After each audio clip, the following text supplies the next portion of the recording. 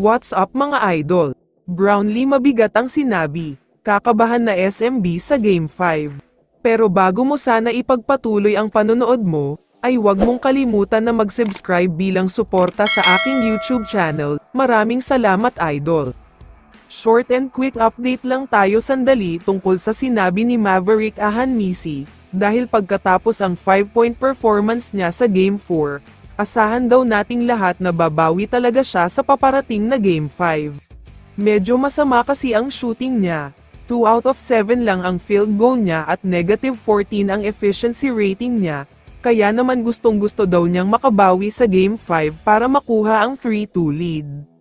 Sana nga ay magkaroon ng bounce back game itong si Maverick Ahanmisi, kailangan kasi talaga nila ng shooter na makakasagot sa mga tres ng SMB, kaya kapag nasa at least 15 points per game siya ay halos sure win na sila. Hindi lang yan ang pag-uusapan natin sa video na ito, dahil tatalakayin din natin ang sinabi ni Justin Brownlee na siguradong kakabahan ang buong SMB, para sa mga hindi nakakaalam ay umiskor ng 49 big points si JB.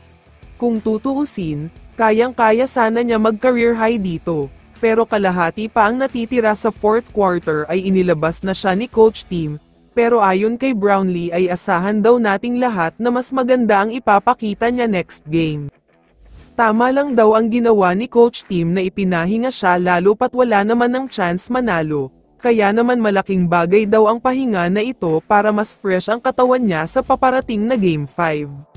Ito pa ang mabigat sa sinabi ni JB, ayon sa kanya ay may mga game plan na daw sila dahil napanood na nila ang film, nakita nga daw nila kung ano ang ginawa ng SMB para manalo, kaya may solusyon na daw sila sa next game.